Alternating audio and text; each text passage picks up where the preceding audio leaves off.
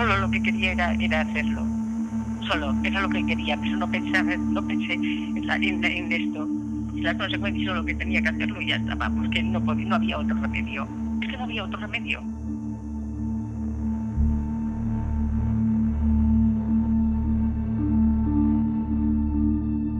Es que yo vi a Triana muy mal. Es que yo pensé, se, se suicidaron una amiga de Triana, ¿eh?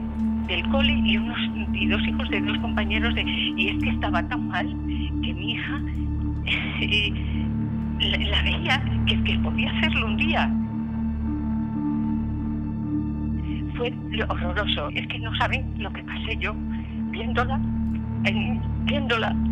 Y por eso lo hice porque no quería ir al entierro de mi hija.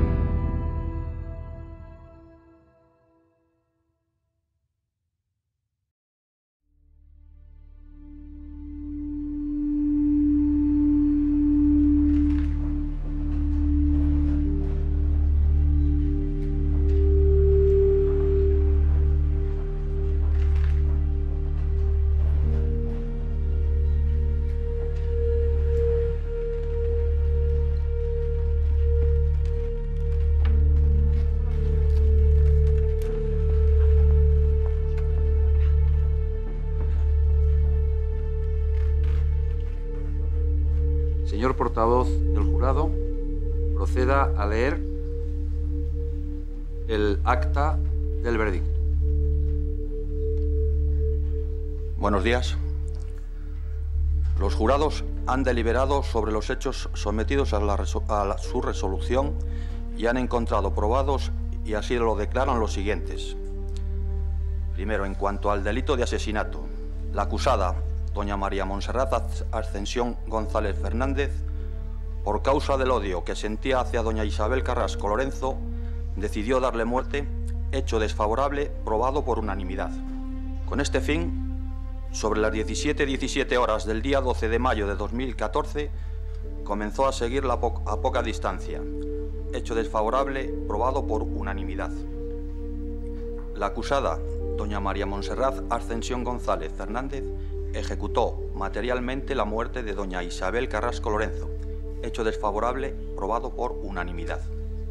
Respecto a la acusada doña Monserrat Triana Martínez González, la acusada, doña Monserrat Triana Martínez González, había acordado previa y conjuntamente con su madre un plan urdido con la intención de acusar la muerte de doña Isabel Carrasco Lorenzo, que comprendía un reparto de papeles entre ambas acusadas, hecho desfavorable probado por unanimidad.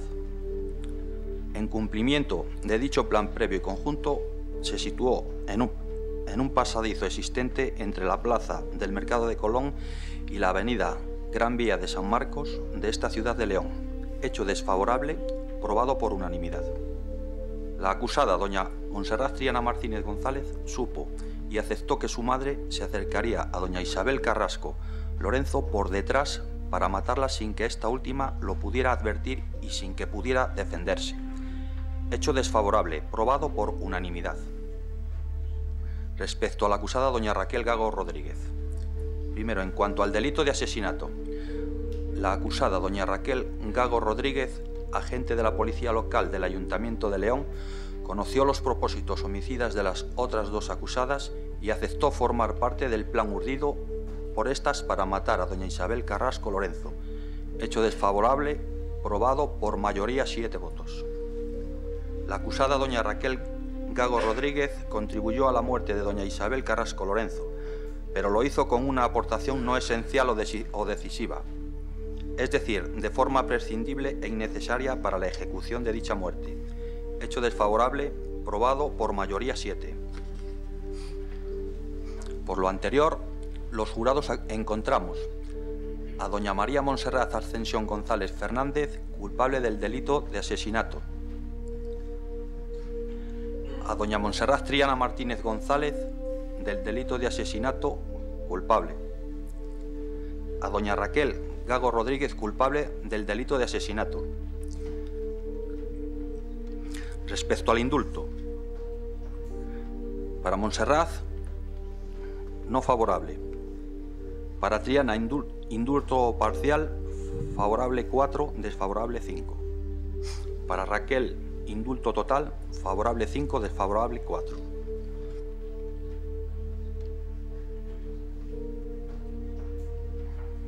Bien, han concluido la lectura del veredicto. Por lo tanto, el jurado puede retirarse y abandonar la sala. Queda disuelto desde este momento legalmente. Abandonen la sala, por favor.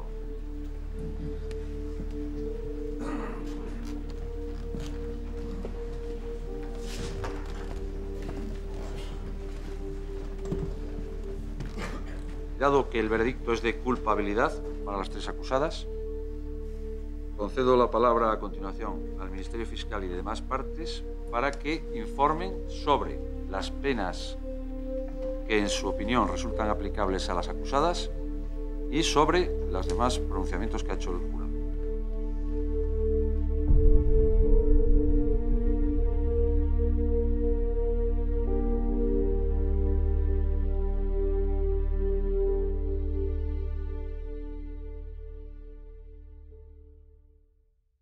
Voy a solicitar la libertad provisional para Triana porque la sentencia va a ser objeto de recurso y me atrevo a solicitarla porque con los hechos declarados como probados entendemos que existe una contradicción evidente.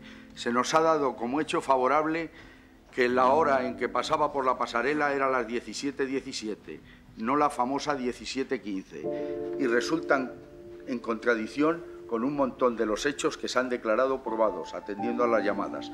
Lamentamos mucho que el jurado no haya entendido estos razonamientos, pero son matemática pura. El arma nunca se pudo entregar en el pasadizo, con lo cual entendemos que frente a la posibilidad, porque nadie es infalible, de que pueda en su día dictarse en el Tribunal Supremo o en el Tribunal Superior de Justicia, me imagino que en el Supremo porque esto se va a agotar, la posibilidad de que se estimaran las pretensiones de esta defensa, entendemos que se puede modificar la situación de Triana Martínez para no perpetuar más tiempo en prisión por si resultara favorable los recursos que se van a interponer. Nada más.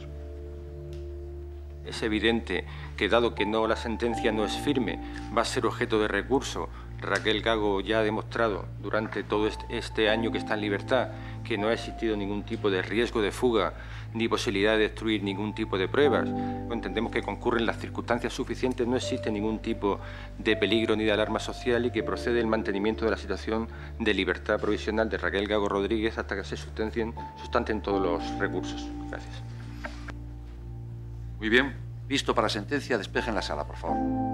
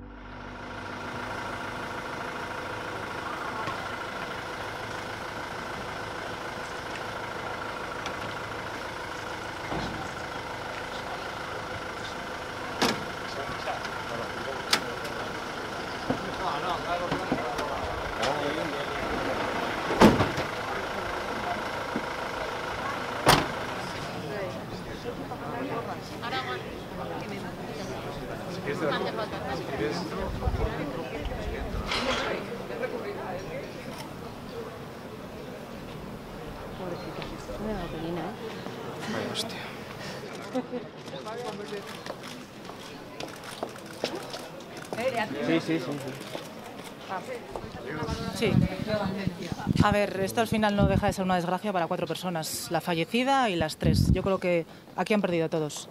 No estamos contentos, estamos contentos con el trabajo que hemos hecho, pero no estamos contentos con lo que ha pasado realmente. Así que lo sentimos por todos, pero yo creo que se ha hecho justicia. Aunque, insisto, esto es una desgracia para cuatro. El silencio es parte de la defensa siempre. Yo creo que bueno que el jurado ha actuado con sentido común y con lógica y que realmente aplicando el sentido común y la lógica las pruebas eran evidentes. Con lo cual yo creo que lo importante es que se ha hecho justicia. Esa es mi valoración. Creo que el jurado ha estado impecable. Buenas tardes. Me acerco, sí. Bueno, pues evidentemente la valoración es muy negativa, pero eh, hemos tenido una sorpresa realmente absolutamente inesperada pero esto no, termina ahí, tal y como se había, se había anunciado, y igual que fue complicado que saliera en libertad provisional, pues eh, agotaremos todos los recursos que entendemos que nos, que nos asisten y, al final pues todo entiendo que saldrá bien. ¿Cómo está especialmente afectada? ¿Cómo está? Pues hombre, evidentemente ha sido una sorpresa y es absolutamente injusto, pero en fin, el jurado es soberano en esta fase y luego pues habrá que ver si ha sido las respuestas que, han efectuado pues son conformes, hay contradicciones, hay una serie de cuestiones todavía pendientes de, deducciones por falso testimonio y bueno, nosotros, el compañero de la defensa y yo, pues confiamos que, que al final todo, todo saldrá como tenga que salir.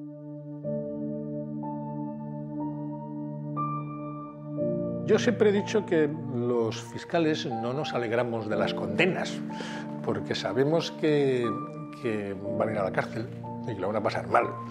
Y que además eso no le devuelve la vida al que le han matado. Pero claro, desde el punto de vista profesional, pues, pues supone que habrán aceptado mis tesis, que les he convencido y naturalmente, que es difícil convencer, y naturalmente pues eso me satisface. El impacto que me da el ver el veredicto es la falta de motivación que existe en este veredicto.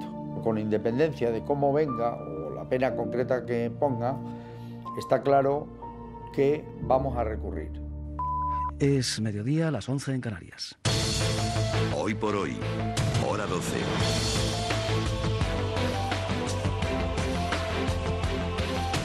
Empezamos en León. Hace unos minutos conocíamos el contenido de la sentencia por el asesinato de la presidenta de la Diputación, Isabel Carrasco, después de que el jurado popular se pronunciara el pasado 20 de febrero sobre la culpabilidad de las tres encausadas. La novedad es que una de ellas, la agente de la Policía Municipal Raquel Gago, ha sido absuelta del delito de asesinato y condenada únicamente por encubrimiento y tenencia de armas. Información de Ana García. El juez rebaja la pena de la policía cinco años de cárcel al considerar que solamente encubrió el crimen de la presidenta de la Diputación. Raquel Gago queda absuelta del delito de asesinato del que le consideró culpable hace 19 días un jurado popular.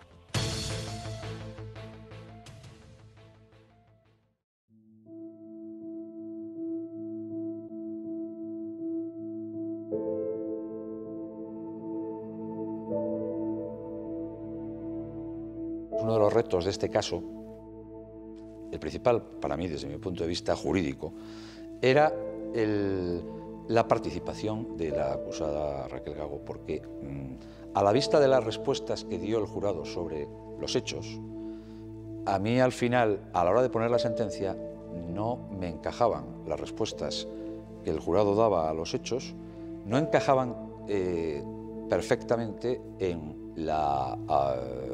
el asesinato, sino que encajaban en otra figura delictiva que es el encubrimiento aunque había conocido el plan eh, urdido por las otras dos acusadas para, causar la muerte de Isabel Carrasco, en realidad eh, su compromiso con ese plan eh, consistía en aportar una conducta posterior a la ejecución del hecho, que consistía en ocultar el, arma. Y sin embargo no declaró probado que la acusada, eh, doña Raquel Gago, hiciera alguna aportación anterior a la muerte de Isabel Carrasco. Es decir, mm, declaró no probado que hubiese hecho seguimientos, por ejemplo. El magistrado presidente del, jurado, el juez, lo que dice es que mm, eso es encubrimiento y yo digo que no. El juez de un jurado, en su sentencia, tiene que poner los hechos y el delito que diga el jurado. Eso lo dice el, la, nuestra ley de, jurado. Lo que pasa que, como todo, pues eh, vuelvo a decir, aun los artículos más, claros admiten interpretación. Luego hay una cosa ahí sí sorprendente también en el veredicto, que es lo del indulto. Consideran que, que Raquel es culpable, eh, pero, pero que merece ser perdonada, aunque es culpable. O que no les quede muy claro que sea culpable, en cuyo caso no deberían haberse pronunciado eh, sobre determinados hechos como probados. Raquel parece que carece de motivación. Yo te introduzco otra posibilidad, que de esa nadie habla, que puede ser. Tú imagínate que esta mujer, es una hipótesis, ¿eh? es otra hipótesis, pero que nadie la ha planteado. Pero imagínate que esta mujer efectivamente la citan allí a las 4 de la tarde a tomar café. Imagínate que en ese momento la hija le dice, oye, eh, ¿qué vas a hacer esta tarde? Mira, el lunes es el cumpleaños de mi madre y quiero comprar un regalo. Que ella lo ha dicho aquí, lo ha dicho Triana. En el juicio lo dijo. Y, oye, ¿te importa quedar conmigo un momento? Y, y compro la, el detalle y te lo meto en el coche. Para que no me lo vea mi madre, ya me lo darás después. Y la otra, pues coge, ah, vale, vale, pues yo como voy a ir a... Pensaba ir a la tienda de bricolaje, pero pero bueno, pues te espero, te espero, espero allí y tal. Entonces, la hipótesis es que a lo mejor Raquel no sabía nada de nada. Y sin embargo sí estaba allí esperando porque había quedado antes con la hija. ¿Me, ¿Me, sigues lo que quiero decir? Por eso ella está tranquilamente hablando con el empleado de la hora, no se altera. Y la otra llega, abre el coche y tal. Bueno, pues nada, sí, le mete en el coche, pues lo que ya pensaba ella que le iba a meter, que era el regalo para la madre. Y luego ella se va, la hija se va, ella se queda solo con el vigilante, el vigilante se marcha también y ella dice, bueno, pues si esta no ha vuelto, no, no vuelve a tal, bueno, pues yo ya me voy. Pero luego cuando se entera que ha, ha, ocurrido esto, es cuando ella empieza a ubicar. Ah, pero si está tomando café con ella, con ellas dos. Y además he quedado con ella ahí en la calle Lucas de Tuy. Y me ha metido algo en el coche. Incluso a lo mejor fue a ver lo que le habían metido en el coche y vio el arma. Pero ahí yo creo que es donde se le pudo producir a ella una situación ahí de no saber qué hacer. Si denunciar los hechos, lo cual supondría ya, pues efectivamente, detener, o sea, inculpar a, a Triana directamente y que era su amiga, y además el temor de que ella pudiera ser inculpada también, porque la policía a lo mejor no me cree a lo que yo estoy diciendo. Y ahí quedan, pasan unas horas hasta que decide qué hace. ¿Me entiendes? Esta hipótesis también es factible o no factible. Me sorprende, yo le tengo mucho aprecio al, magistrado presidente, ¿no? pero bueno, esta hipótesis que yo he oído tiene una carencia que la invalida. Es que Raquel no había quedado con Triana. A partir de ahí no hay hipótesis que valga para nosotros. Hay que tenerse a lo, a lo que hay probado. El jurado ha declarado probado que sabía lo que iban a hacer las otras, que quedaron ese día para culminar el plan, el plan que para ella era hacerse cargo del arma. No intervenir en la muerte, sino hacerse cargo del arma después. En mi modesta opinión, eso es encubrimiento. Esto irá primero al Tribunal Superior de la Comunidad, Tribunal Superior de Justicia, que está en Burgos, y luego acabará en el Supremo. Yo creo que indiscutiblemente va a llegar al Supremo. Sí. Y además es bueno que llegue, ¿eh? porque es un caso que merece llegar al Supremo. Thank you.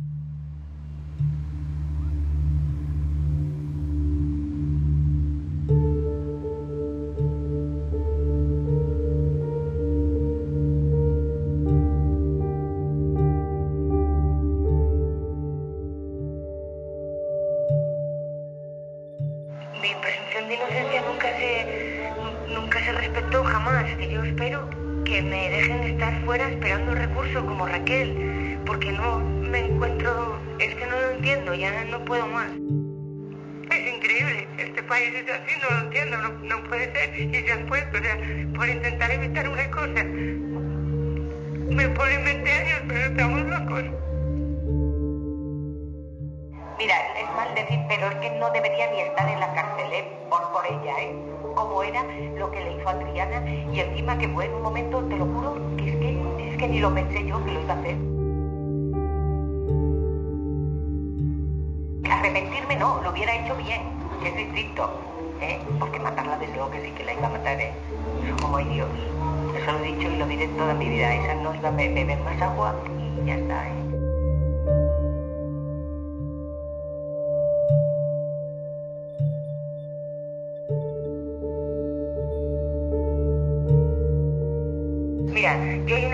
Ya no entiendo, porque veo que en la vida hay cosas que no entiendo, ¿sabes? Porque yo todo lo que he dicho es que me ha pasado y es real.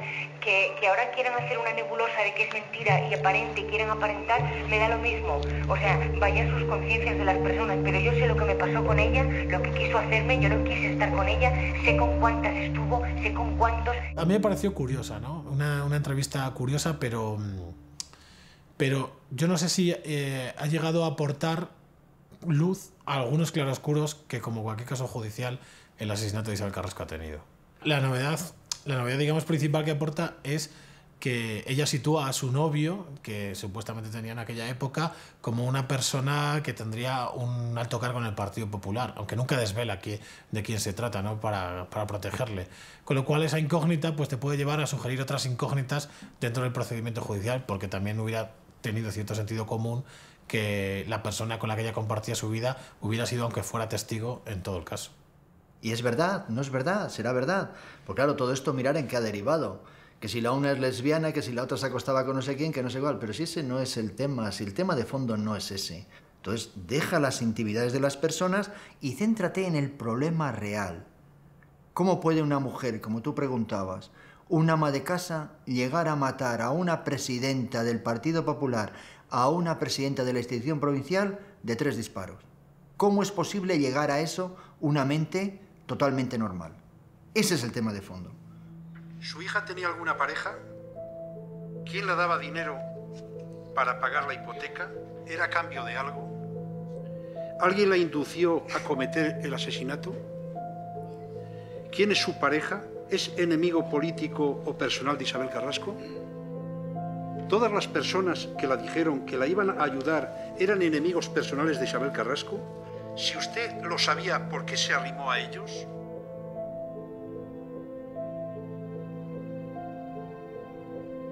Yo muchas de esas seguiría haciéndolas hoy.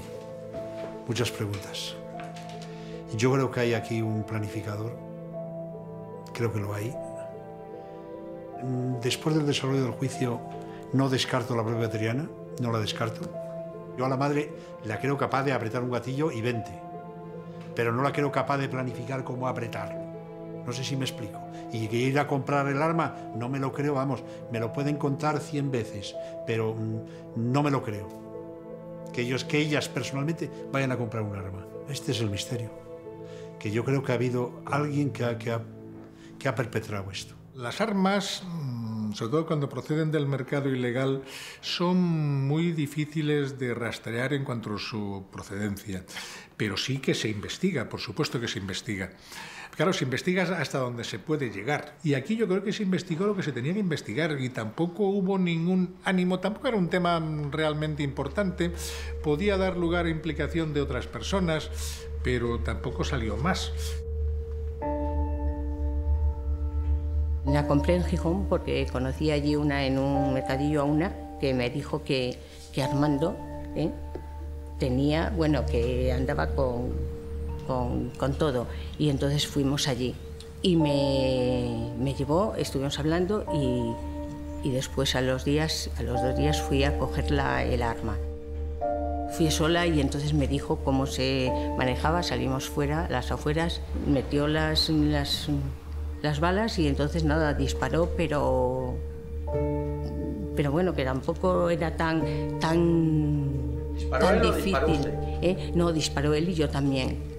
Ella da referencia de quién es la persona a la que le ha comprado el arma. Y en la propia base de datos de la comisaría de policía encuentran la foto de Armando, de esta persona que se llama así, les muestra la foto y dice que efectivamente es esta persona. Y es una persona que ya estaba muerta. Es un poco sorprendente que, bueno, es lo que se suele hacer, que la persona que se la vendió era una persona que ya estaba muerta y por tanto no se puede comprobar si eso fue así o no. Y yo creo que para una mujer que no está metida en el mundo de la delincuencia, no es fácil contactar con alguien para que le venda un arma así directamente. ¿eh? Entonces la explicación que da ella yo no me la creí nunca mucho. Me parece que es una explicación, bueno, pues eh, muy fácil para ella, eh, una persona que está muerta.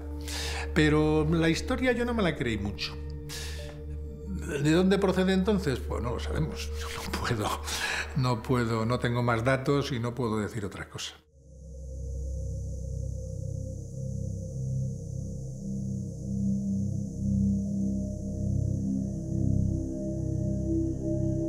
Era, era hacerlo. Solo, era lo que quería, pero no, pensaba, no pensé en, la- en- en esto. Y las consecuencias solo que tenía que hacerlo y ya estaba, pues que no, no había otro remedio. Es que no había otro remedio.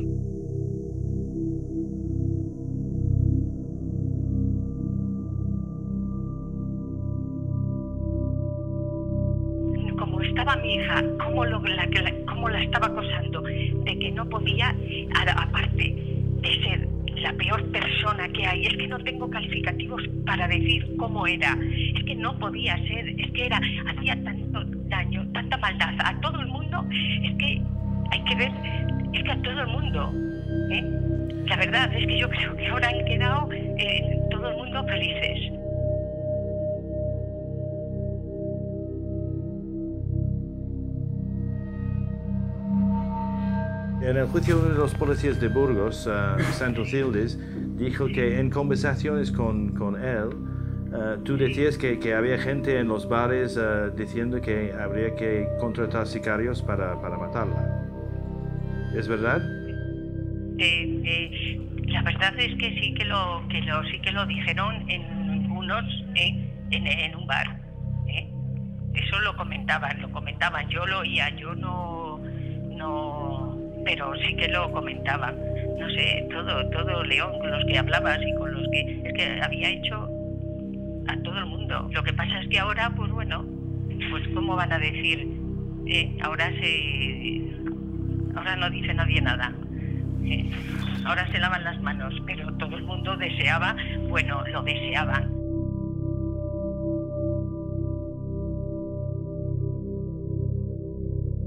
Yo confío en que se va a hacer justicia, porque hasta el momento todavía no se ha hecho. Pero bueno, tengo muy buenas referencias y conceptos del Tribunal Supremo, porque ahí sé que se lo van a estudiar y lo van a mirar porque solo hay que ver el sumario y ahí está claramente demostrado que yo estaba en otro sitio, fácilmente lo pueden constatar, y que no pude, no hay tiempo para llegar donde ellos pretendían y me hicieron decir por engaños. Es que está muy claro, no, no, hay, no hay pasadizo, no hay nada, todos los otros aparecieron allí para engañarme. Yo, cuando estábamos en Astorga, vivía en una comisaría, como no me iba a fiar de que venían de parte de papá y del comisario, no pudo pasar, eso se puede ver. Solo tienen que mirar las, los papeles y ahí lo, se ve claro.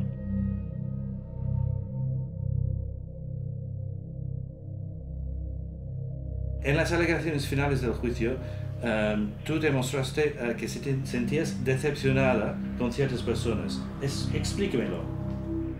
Bueno, es que yo vi a lo largo de lo que estaban diciendo allí, todas las cosas que no quisieron decir que habían sucedido de verdad, yo me, me- me daba cuenta de que tuvieron miedo a represalias de puesto de trabajo y represalias de tipo político. Hay gente que dice, que han dicho, dicho a nosotros que eso de tener eh, novio eh, alto cargo de- del Partido Popular en León es mentira. Bueno, yo, yo eso, eso por supuesto que es verdad, fue muchos años, me pagaba el piso, yo, yo me ayudaba,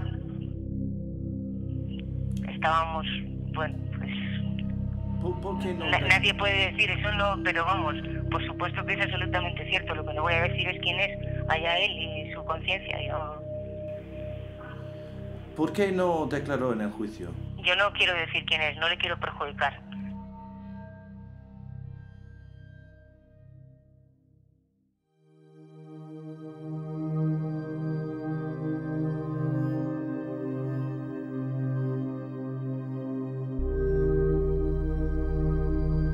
Pues la, la vida mía pues está rota, está rota a todos los niveles, yo intento llevarlo como puedo, pero la vida mía pues está truncada a todos los niveles. Yo, en fin, yo me manejo bien porque yo, aparentemente soy duro, soy fuerte, pero no está eso no es cierto. A veces uno se, derrumba y la protección de uno va por dentro. Yo no lo puedo entender, salvo que haya algo más detrás. Otra cosa muy grave, porque me parece que no, no- no- no- se puede justificar por mucho odio que la podían tener. Porque es que, no sé, han crucificado su vida. Pues yo, yo estuve en shock un mes, porque no me lo podía creer. Y yo no encontraba ninguna explicación hasta que oí hablar a un psiquiatra en la tele.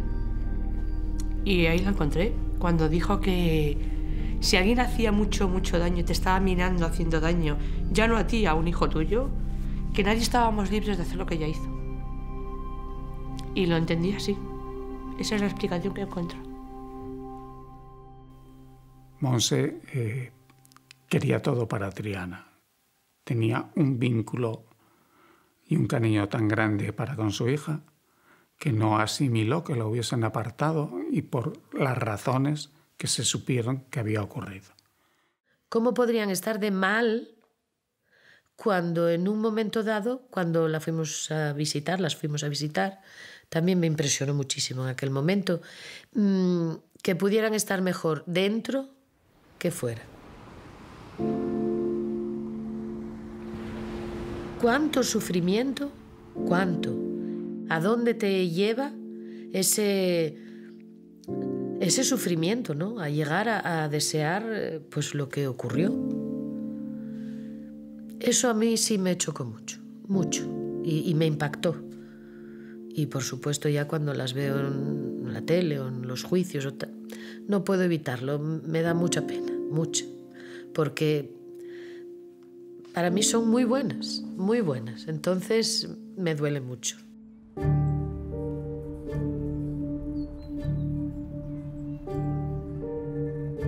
Usted ahora solamente puede impugnar los motivos del recurso, no, contradecir los argumentos que han vertido en sus impugnaciones.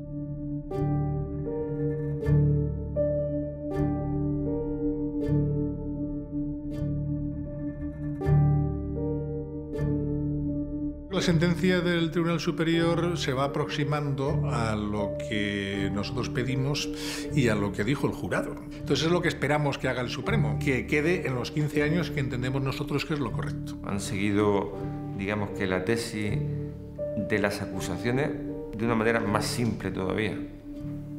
Es culpable porque sí. Dedica dos folios y medio a contestar la tesis, en contra de la tesis que manteníamos de Triana. Nos parece demencial.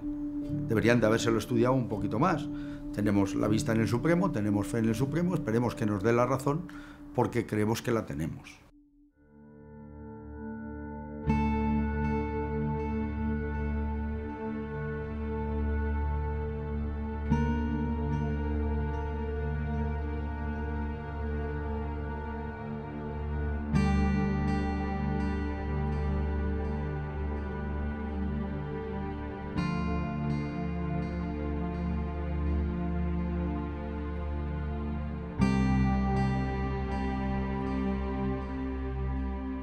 Las únicas culpables y responsables de matar a Isabel Carrasco son tres personas, condenadas por el Tribunal Superior de Justicia de Castilla y León ahora mismo, una como cómplice, otra como cooperadora necesaria y otra como asesina confesa. Nadie más es responsable de la muerte de Isabel Carrasco. ¿En qué medida la ambición se convierte en una perversión y, y además al verse truncada genera odio. Pues también no solamente por la maldad que reinaba, que reina en Montserrat y que posiblemente estaba azuzada por su hija Triana y por la complicidad torpe y, y necia también de Raquel, ¿no? Había algo más, había un ambiente propicio para que esto se desencadenara. Y ese es el gran error, esa realmente es la culpa que yo creo que debería pesar sobre todo León, aunque León sea la gran víctima también de esta historia. No soy capaz de entender que se pueda hacer eso. No sé, puedo entender que en un momento de arrebato, de rabia, pues te enfrentes, le digas cuatro cosas a la cara o incluso llegues a darle un empujón. Pero de ahí a coger un arma y poder disparar fríamente cuatro tiros, bueno, me parece impensable. Yo en la última época de Isabel la dije, mira Isabel, con todos mis respetos, vas mal, por este camino vas mal. Eh, cuando uno está en el poder y cuando uno lo tiene todo bajo sus pies, las cosas marchan bien, pero la vida política se acaba. Digo, yo creo que te has creado muchísimos enemigos y en definitiva tienes que ir buscando esa tranquilidad, tienes que ir buscando la gente que cuando vayas por la calle, en vez de gritarte o en vez de insultarte como el otro día, pueda hablar contigo. Digo, y ese es tu problema ahora. Déjate de la actitud que estás teniendo y empieza a ser un poco más humana.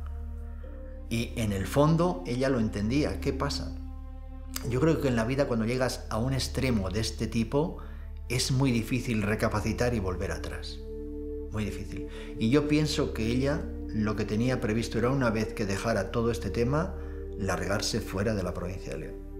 Desde luego solo aspiro a vivir tranquilamente, ¿me entiendes? Y a ver pues el futuro mejor para mi hija, que es lo que realmente tengo. Aspiro a, a recuperar un poco el tiempo perdido, porque a mí esto, todas estas cosas lo único que te hacen es un poco entretenerte del verdadero trabajo que tienes que hacer y llevar mucho tiempo en cosas que no deberías de hacer y sobre todo pues no tener prácticamente vida privada.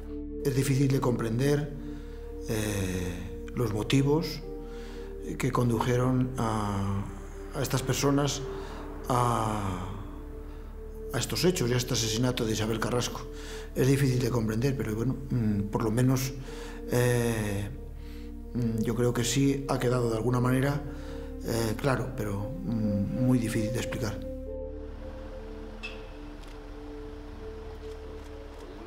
Eh, esa investigación se quiso cerrar muy pronto y concentrar en tres mujeres. Las tres mujeres implicadas, que en una especie de rapto de locura habían cometido un crimen salvaje y que no importaba que fueran mm, gente vinculada a un comisario de policía, no importaba que fueran militantes del Partido Popular, había que centrar la atención en que eran tres mujeres enloquecidas que por odio habían perpetrado un asesinato horrendo. Pero hay más. Esta historia tiene más. Posiblemente no sea más para la justicia, o sí, quién lo sabe, porque siempre nos quedarán velos por descubrir. Hay una cosa que nunca salió en el juicio, y es la relación que ésta tenía con cierto grupo del Partido Popular. Yo es algo que siempre me causó la sorpresa. Esta tenía información y hablaba con varios del Partido Popular a menudo. ¿Quién les calentó igual la cabeza? ¿No puede darse el caso de que parte del otro grupo que estaba con relación con ellas les calentara demasiado la cabeza? ¿O qué cree? ¿Que estaban solo ellas hablando mal de Isabel? De Isabel estaba hablando mal muchísima gente. Si encima ahí todos hablan mal con la misma, pues al final puede pasar lo que ha pasado.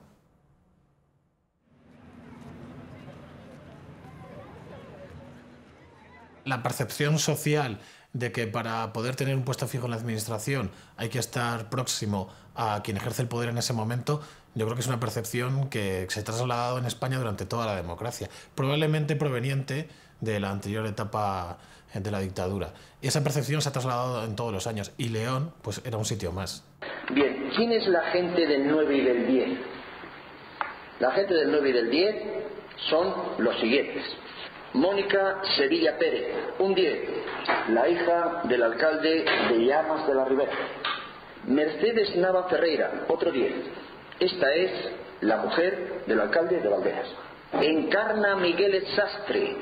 La polémica de las oposiciones supuso, digamos, el, la primera gran polémica eh, que envolvió a Isabel Carrasco con una amplitud eh, política y social. ¿Y eran los opositores que luego han aprobado? Bien, ¿son los que están aquí ahora aquí en la sala o usted no los conoce? Ah. Sí, puede mirar a ver si, si usted los conoce. Si son los que usted llamó y los que se presentaron allí cuando usted estaba por la sede. La secretaria que lo dijo la expulsaron inmediatamente del partido, dijeron que estaba enferma y que tenía problemas mentales y la de Dios. Entonces no valió para nada su declaración. Sabemos que nosotros no jugábamos con las mismas cartas que jugaban ellos, que para nosotros eso de ante la justicia somos todos iguales era letra muerta. Y eso lo sabíamos desde un principio. Siempre fuimos muy realistas y siempre sabíamos que teníamos muy pocas opciones de poder probar las cosas porque nadie iba a reconocer. Me han pasado el examen. Si se podía probar de alguna manera era por prueba indiciaria, por un montón de indicios que te llevan a la conclusión de que eso sucedió así. Íbamos en contra de una actitud que hay establecida en León de un caciquismo tremendo y de un clientelismo político tremendo y lo que queríamos era que por una vez, por favor, que se vayan los que no pueden estar ahí.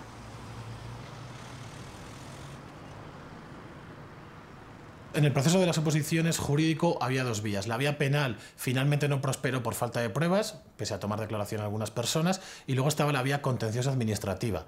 El juez hizo una sentencia diciendo que se debería rehacer todo el proceso, constituyendo un nuevo tribunal porque estaba contaminado y diciendo incluso en algún párrafo de la sentencia algo así como que Presidencia tuvo conocimiento de lo que estaba ocurriendo, lo pudo haber parado y no lo hizo. Y aunque el juez apunta a esos indicios de filtraciones que deberían de ser investigados, ya ni la Fiscalía ni los juzgados retomaron la investigación penal. Y entonces, evidentemente, como la sentencia es favorable a nosotros, ellos recurren y va al TSJ, al Tribunal Superior de Justicia de Castilla y León. La Diputación recurrió y finalmente fue la Diputación la que logró la victoria judicial. Nadie lo entendía. Jurídicamente nadie lo entendía. Que era un absurdo. Entonces nos quedaba solo la vía del Constitucional. Entonces se hace el recurso, se presenta eso va para años. Entonces, como a los dos años, una cosa así, cuando ella ya ha fallecido, eh, se dicta una provincia que dice que no se admite a trámite sin fundamento alguno.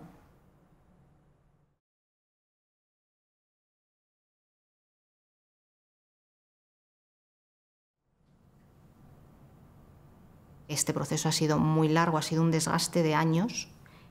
Era muy complicado sobrevivir estando bajo la mirada de Isabel Carrasco, ella identificó este proceso como una, porque siempre pensó que había gente detrás que iba en contra de ella por ese tema que, tenía contrarios dentro del PP, siempre pensó que había gente que nos respaldaba y que estábamos apoyados por alguien cuando no era cierto. Se prohíbe hablar con Rosa y el que lo haga que se atenga a las consecuencias. Vista una consecuencia tan importante como esa, pues la gente tenía miedo a hablar conmigo. Yo ibas por la calle, te cruzabas con no sé quién, agachaban la cabeza, miraban para un lado, miraban para el otro, era aplastante.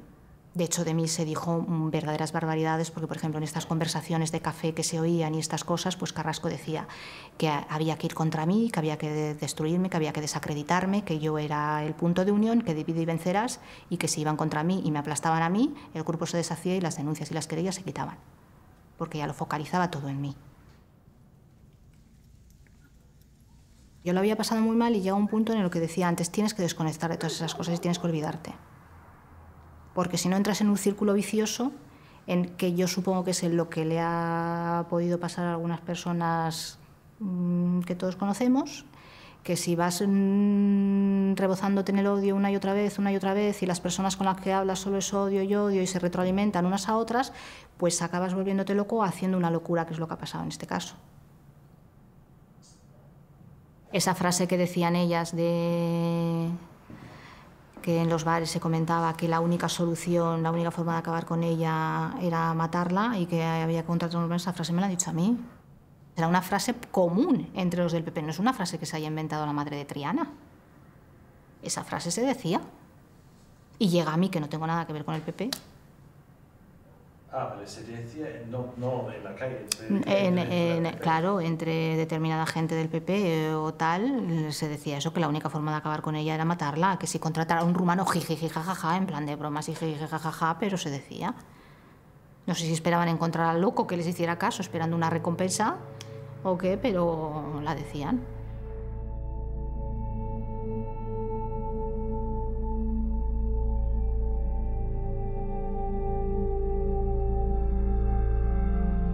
ahora hay otras personas que estaban deseando estar ahí y que han tenido que ocurrir unos hechos muy trágicos para que estén ahí. Pero realmente es así.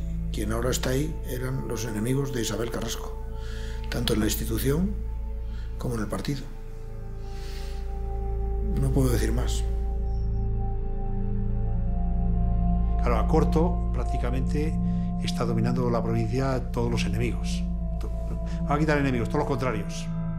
Tanto el partido como, como las instituciones, como la, como la empresa, todo.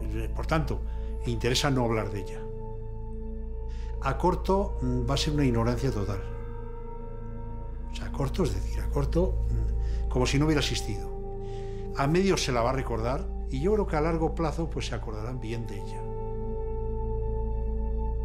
Cuando la gente hace cosas buenas y tiene mucha gente a su favor, siempre hay un recuerdo grato de algo. Yo en estos momentos de Isabel no hay ningún recuerdo en la provincia. O sea, Isabel se fue y yo te quiero decir que ahora mismo la recuerda solamente la familia. Yo tengo un dicho importante para mí. Los muertos son de la familia y en este caso más que nunca. Pues que Isabel Carrasco está muerta, su hija es huérfana, sus hermanas han quedado sin hermanas, sus amigos han quedado sin una amiga, sus familiares han quedado sin un familiar, su pareja se ha quedado sin su pareja. Y hay tres personas que deberían estar condenadas y espero que estén condenadas en la cárcel durante muchos años. Eso es lo que ha cambiado León.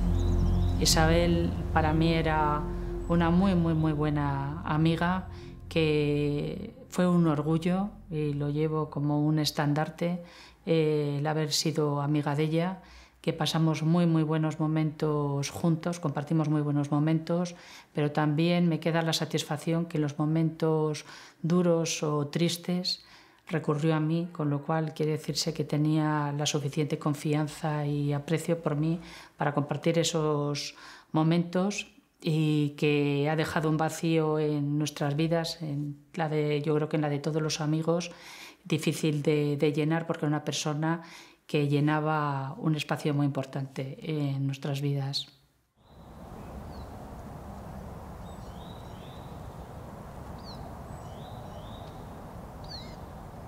Y ahora tiempo después, después de ya, ya dos años después, cuando las idas ya no sangran, cuando el dolor ya no está manifiesto, realmente lo que queda es la tristeza. Pensar, pensar en ella, pensar en su hija, pensar en, pensar en todo, nos produce tristeza y pena. Y, yo lo que intento animarme es, y se lo comento a mis hijos, eh, les digo, vosotros, nosotros, somos afortunados porque conocimos y fuimos amigos de Isabel Carrasco.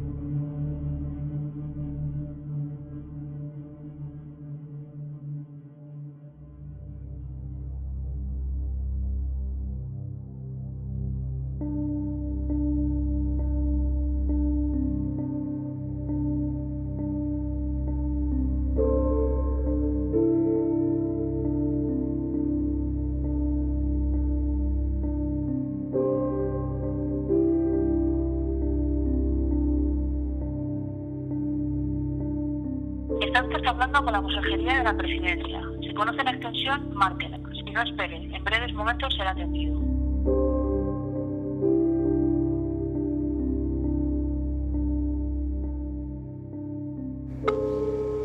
Dígame. Estoy realizando un, un documental sobre el caso de Isabel Carrasco.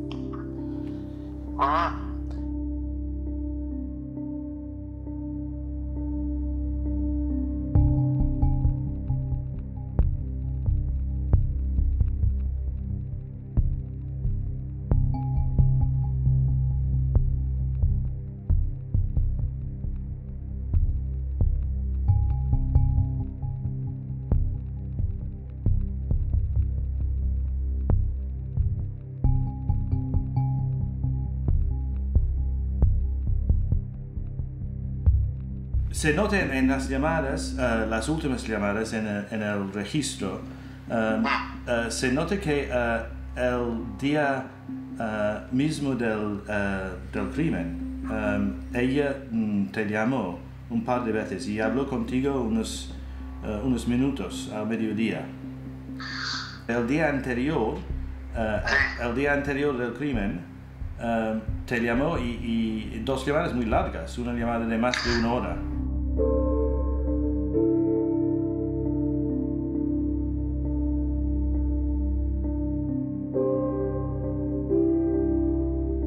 Nadie de la investigación del caso te, te contactaron, ni los abogados ni, ni nadie, ¿no? De la investigación del caso, de la policía o los abogados, y nadie te contactaron sobre las llamadas, ¿no?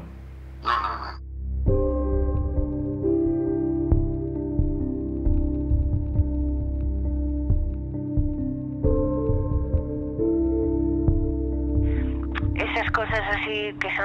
son. Solo quise dejar porque es mío, privado, de. ¿Sabes?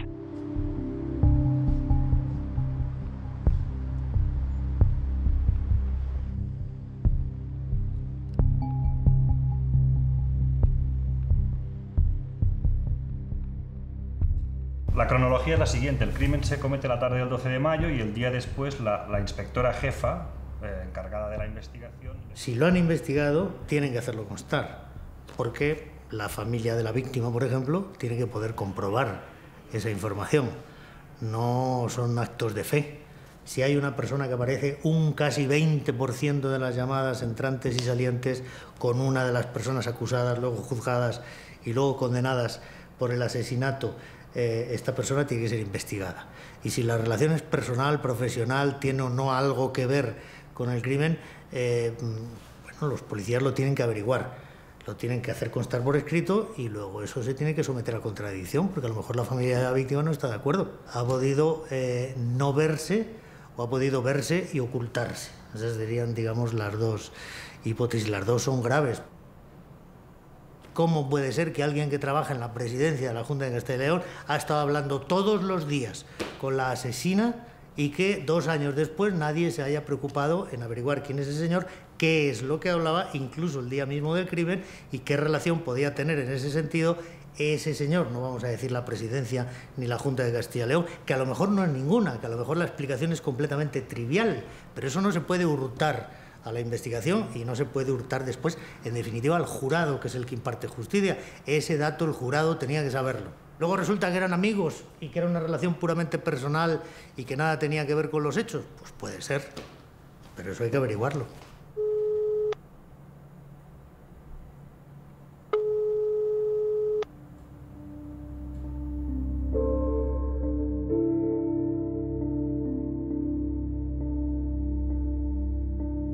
Tenemos eh, estos datos.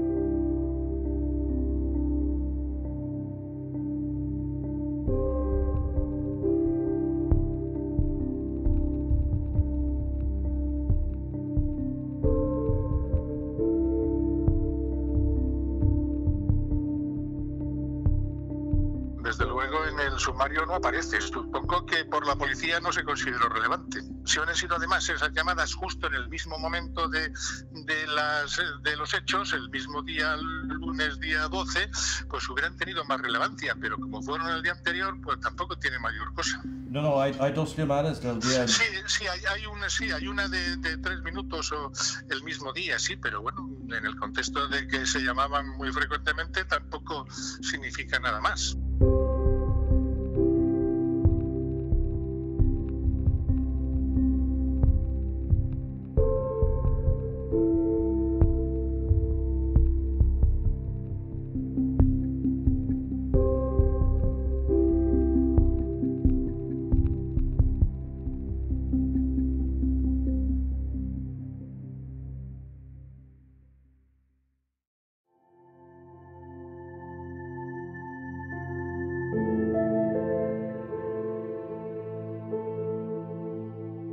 Los letrados saben, conocen perfectamente que el recurso de casación es un recurso extraordinario.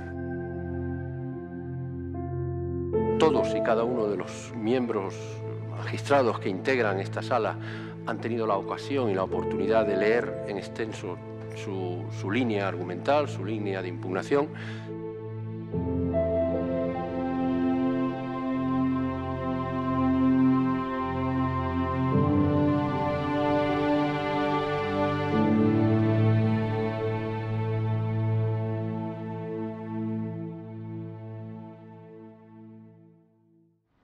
Pensé que no era verdad. Y fue mi primera impresión. Eh, por eso te pedí tiempo. Te pedí tiempo para qué? Para poder revisar todo el sumario, ver todas las pruebas y ver eh, hasta dónde puede llegar esa prueba.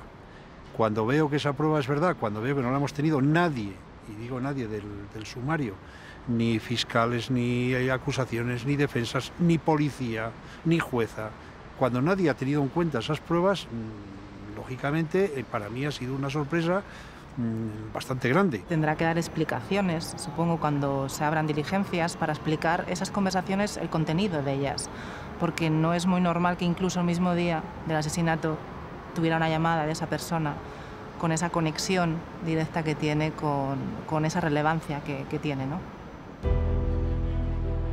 Aquí no hay ningún eh, posible eh, culpable ni ningún posible eh, hecho delictivo de momento. Prefiero pensar que, que, no se, que es una negligencia, que no se ha visto. Prefiero pensar eso, que, que se ha ocultado esas pruebas de manera deliberada. ¿no? O bien que ha habido un, un olvido de todos, o ha habido una ocultación de alguien para que no podamos llegar ahí, pero es, es, es, hoy es prematuro decir cualquier hipótesis. Hoy caben todas las hipótesis.